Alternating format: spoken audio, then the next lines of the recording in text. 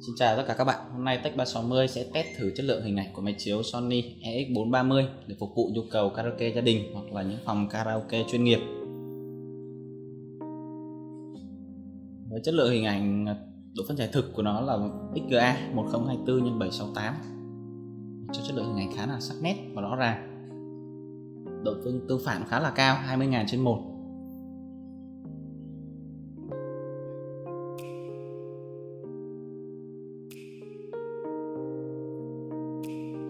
cường độ sáng của bóng đèn là 3200 IC lumen thì những phòng karaoke có những đèn chói thì cũng không ảnh hưởng nhiều đến chất lượng của hình ảnh, máy chiếu chiếu ra.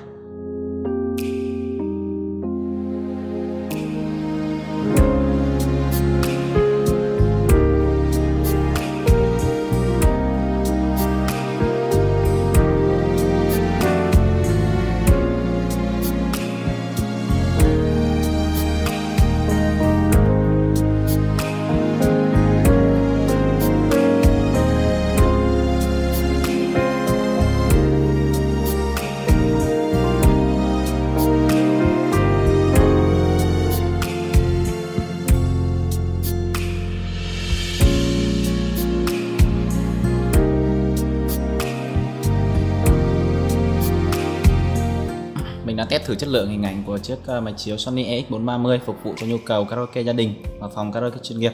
Cảm ơn tất cả các bạn.